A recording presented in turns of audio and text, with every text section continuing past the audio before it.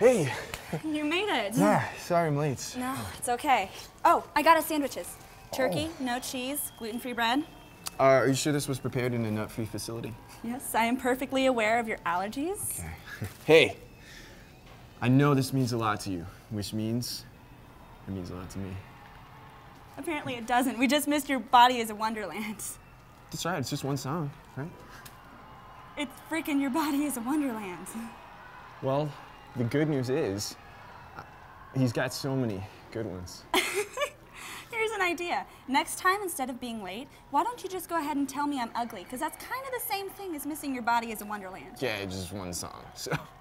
No, it's, it's fine. We can just go Hey, uh, actually, uh, I was hoping we could just talk really quick. Um, I think we should, you know, take a break. You just chill for a while, you know. You're doing this, aren't you?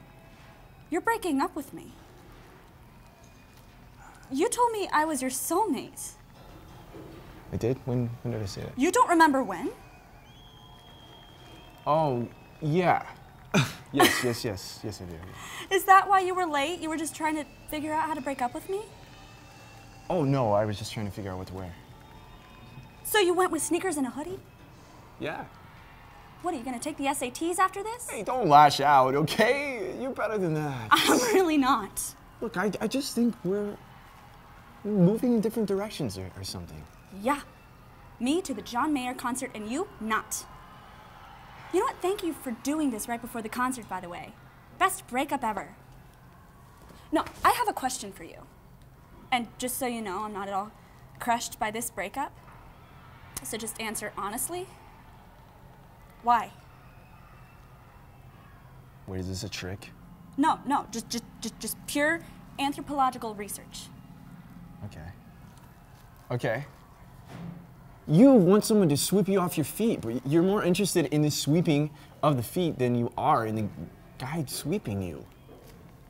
You you look like you got it all together, but really you are seriously emotionally damaged and also your eyes really freak me out. Oh, that's enough. Thank you. Thank you. Hey, it's not you at all. It's not.